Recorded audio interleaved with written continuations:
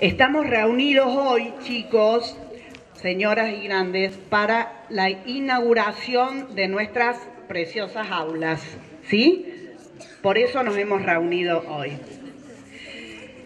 Este momento lo vamos a llamar acto inaugural de habilitación de obras concluidas. Muy buenos días a todos. Hoy contamos con la presencia, como les dije, del ministro de Educación Walter Mario Graubach. Un gran alivio para, nuestra población educativa. Quiero agradecerle a José Peralta que lo hemos vuelto loco permanentemente con, con esta obra y para lograr eh, concretar lo que realmente tenemos hoy, ¿no? En nombre de la comunidad educativa, quiero saludarlos muy cordialmente y Además, agradecerles de todo corazón su presencia hoy en nuestra casa en la culminación de este gran proyecto. El plan Aurora prevé la construcción de aulas para poder cumplir los objetivos de tener la jornada extendida. Resulta muy agradable para mí estar compartiendo un acto que comprenderán fácilmente resulta de lo más satisfactorio entre los que me corresponden en mi labor como directora.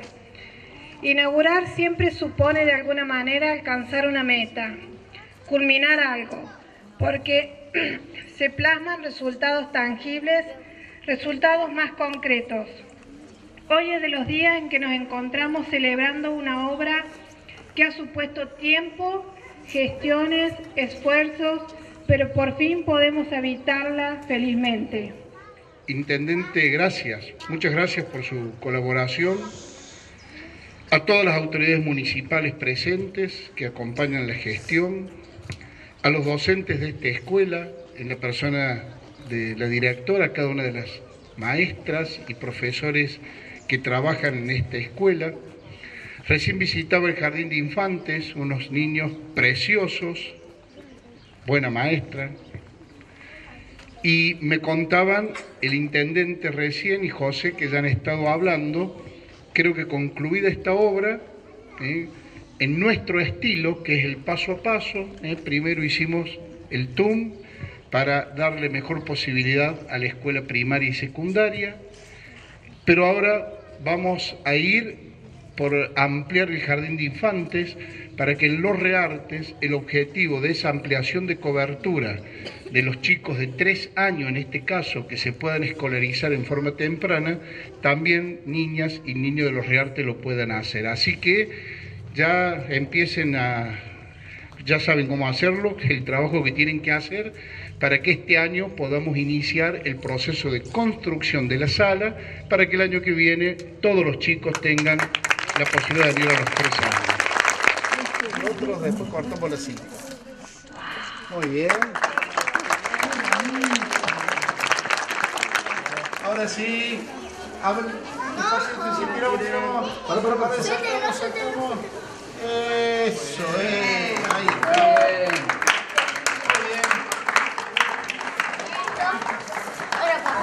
Bien. Eh, hoy viene a inaugurar las las, aulas auroras que comenzamos el año pasado, eh, en la cual la provincia hizo un aporte de unos 600 mil pesos y nosotros para mejorar algunas cuestiones allí en la calidad de materiales y decidimos ponerle algunas cuestiones más, hicimos un aporte de unos 300 mil con recursos propios eh, de nuestra comuna. Esto ya está funcionando hace dos meses, tal cual ellos nos pidieron que, mm, que ni bien estuvieran las aulas, eh, los chicos las comenzaran a utilizar, eh, que la inauguración era una cuestión formal, lo que me pareció súper lógico. Y ayer me comunicaron que en el día de hoy ya venía el ministro a inaugurarlas, que se había frustrado allá por mayo, te acordás que iban a ir a inaugurarlas y por cuestiones de agenda se, se debió suspender.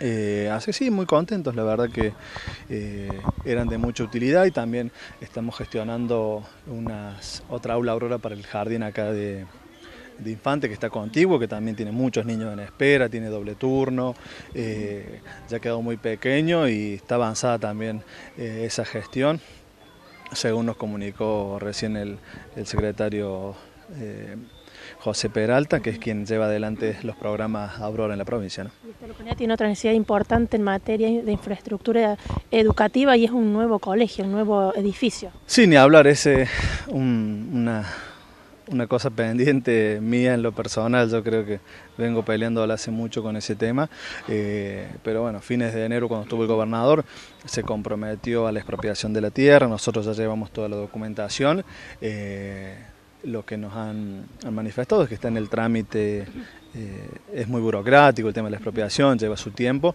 así que bueno, veremos qué novedades nos trae respecto a ese tema el ministro, que es quien está a cargo de esto, ¿no? El gobernador obviamente que ha hecho el anuncio de un compromiso, del cual estamos muy, muy agradecidos, pero lo que es la, gestión en sí la lleva adelante el ministro porque es una expropiación que se hace para el Ministerio de Educación concretamente y un colegio que depende de eso. ¿no? Aprovechar para recordarle el tema. Sí, sí, seguramente que sí, ya lo, hemos venido hablando, yo cada 15 días estoy en Córdoba. Eh, eh, golpeando las puertas por este tema, pero sí también las, los docentes también se los van a, se lo van a consultar porque es una necesidad eh, muy acuciante de, nuestro pueblo, esta demanda que viene de hace mucho tiempo y por diferentes circunstancias, sobre todo nos hemos trabado por la cantidad de metros que nos piden con, los títulos que no los teníamos disponibles eh, y eso nos ha, nos ha hecho atrasar todo. ¿no?